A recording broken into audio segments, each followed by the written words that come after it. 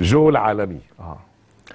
طبعا يوسف شاهين تختلف عليه مهما تختلف لكن ما فيش حد إلا واتفق على إنه مخرج كبير ومخرج عبقري كمان. طبعا.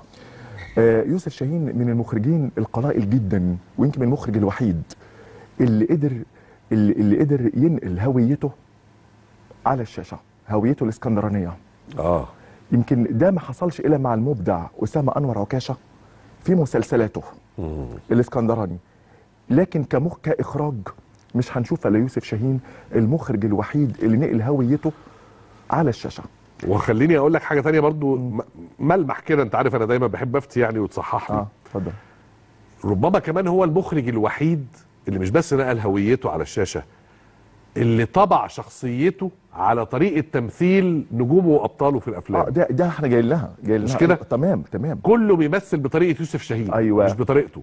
آه هو يوسف شاهين أساسا يعني هو من أسرة متوسطة جدا ولكن الأسرة دي كانت حابة إن ابنها يبقى حاجة. كويس. حاجة كبيرة جدا. فعشان كده حرمت نفسها من كل متعة الدنيا عشان تدخله تدخله مدرسة آه، فيكتوريا كوليدج في اسكندرية.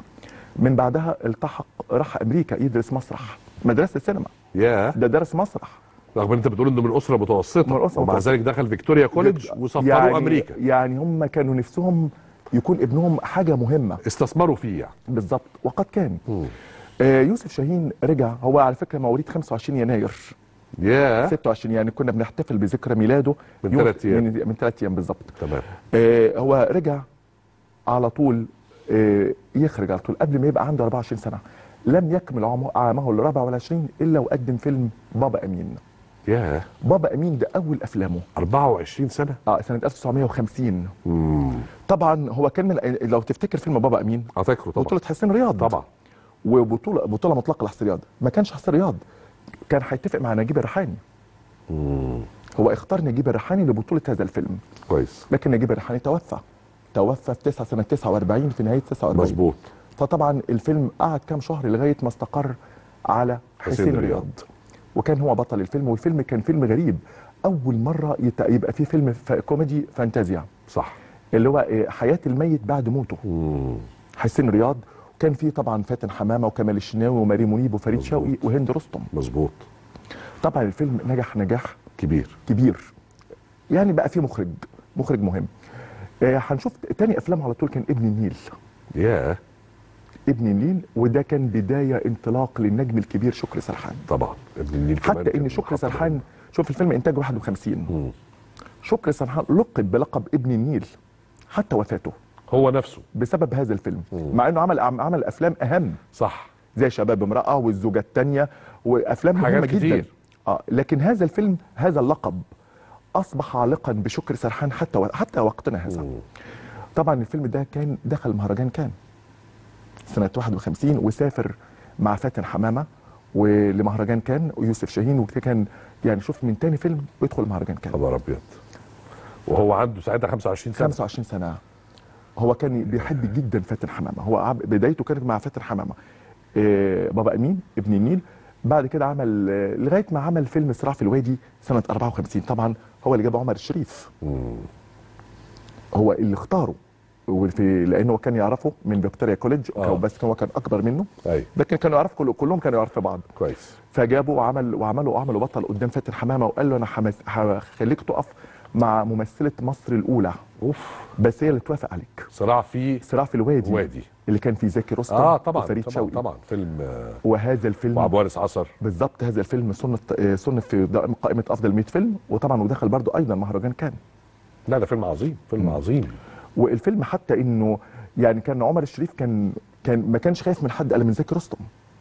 يعني في الفيلم ده ما كانش خايف من حد الا من زكي رستم. وقدر زكي رستم يمتص هذا الخوف من عمر الشريف آه. لأن كما لأن كان ساعتها الفيلم كان الفيلم كان فيه مشاهد كتير بين عمر الشريف وزكي رستم. مظبوط. هنبص نشوف يوسف شاهين آه، كل دي أفلام مهمة لكن بداية يوسف شاهين في السينما بدأ سنه يعني في السينما اللي هي اللي, بدأ يبقى فيها اختلاف فيها بصمات آه، يوسف شاهين. آه. طبعا قبل ما ندخل المرحلة دي في مهم فيلم مهم جدا سيدة القطار مع ليلى مراد. ده يوسف شاهين؟ يوسف شاهين. يا انه كونه إنه ياخد ليلى مراد من أنور وجدي. طبعا. الفيلم ده سنة 52 كان في عز نجاح أنور. وجدي وليلى مراد. ياه. أنا عايز أقول لك إن أنور وجدي قال أنا له- هو سؤالي مش إزاي خدها يوسف شاهين؟ إزاي سابها أنور وجدي؟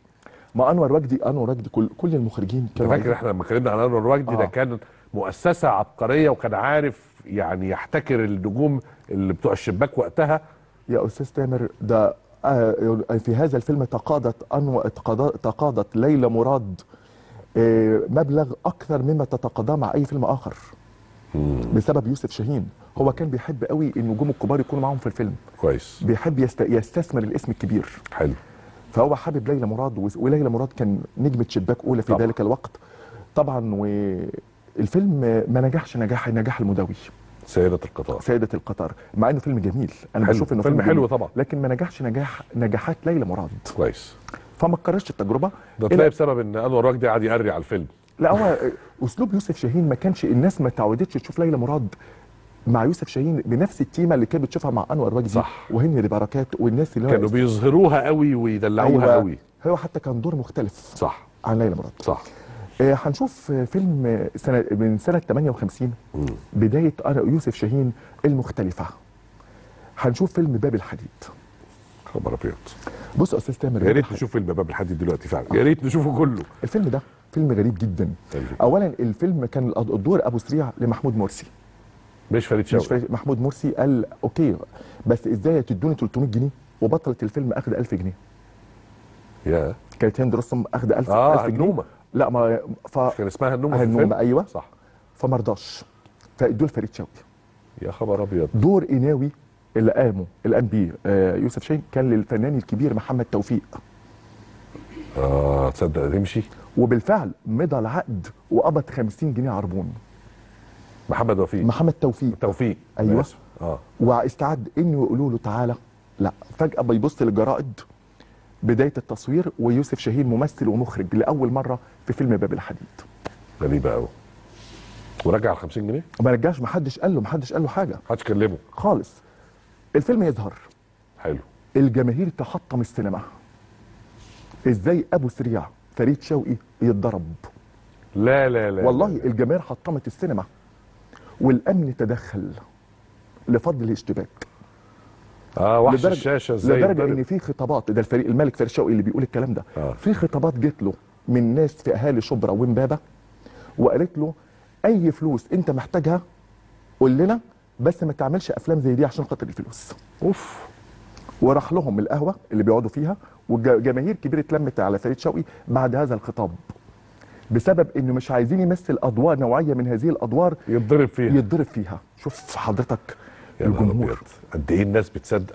عشان الناس اللي بتقول لك آه، ده مجرد فيلم وإيه يعني تأثير الفيلم. هو اتفرجوا على فيلم بيعمل إيه؟ في عقلية وذهنية الناس. وفريد شوقي آه، أقنعهم بإن ده تمثيل وإن ده فيلم. مفيش فايدة. يعني هم السينما شايفينه في حتة معينة مش عايزينه يقل عنها. حضرتك الفيلم ده أول فيلم عربي إفريقي يرشح للأوسكار. أول فيلم الحديد. عربي إفريقي يرشح للأوسكار. باب حلو. الحديد سنة 58 حلو. في نفس السنة يوسف شاهين عمل جميل أبو حريت. الله الله الله. طبعا عايز الدين ذو الفقار رفض التعاون مع ماجدة الصباحي. اعتذر لها أي اعتذارات؟ هو رفض يتعاون معها. وحب مع ان السيدة ماجده الصباحي عرضت الإخراج على عز الدين ذو الفقار أيوة. لكنه رفض. ورشح لها يوسف شاهين. قالت له أنا عايزاك راح لها وعمل الفيلم وكان الفيلم ده من الأفلام المهمة جدا إلا حضرتك تتصور إن الفيلم ده لما بيعرض لما عرض في أي دولة عربية. في دولة عربية الجمهور العربي بيخرج على السفارة الفرنسية يحطموها أوف. من شدة اعتبارهم إن الفيلم ده حقيقي حقيقية. جدا حقيقي جدا. والفيلم ده من الأفلام المهمة جدا اللي مثلت القضية الجزائرية. طبعا طبعا طبعا. جميلة أبو حريق الفيلم ده مثل الثورة الجزائرية وخلد المناضلة جميلة أبو في الفيلم ده حصل خلاف بينه وبين رشدي أباظة. ليه؟ لأنه كان عايز يعلم رشدي أباظة يمثل, بطريقة معينة. فهنا بقى اللي حضرتك قلته بقى بداية البداية رشدي أباظة. رشدي أباظة لقن يوسف شاهين درس لن ينساه. ويكاد الممثل الأول في تاريخ يوسف شاهين اللي لقنه هذا الدرس. مم. يوسف شاهين لما لما رشدي أباظة قال له أنا أمثل بطريقتي. أيوه.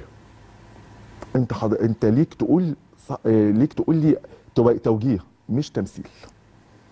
هو سمعوا الكلام ده كل الممثلين بما فيهم ماجدة يوسف شاهين ما فتحش بقه. حتى إن السيدة ماجدة الصباحي في أي تنبيه ليوسف شاهين قالت له هتسكت ولا أجيب لك رشدي؟ يا نهار أبيض للدرجة دي؟ آه والله. ما تعاملش معاه بعد كده نهائي.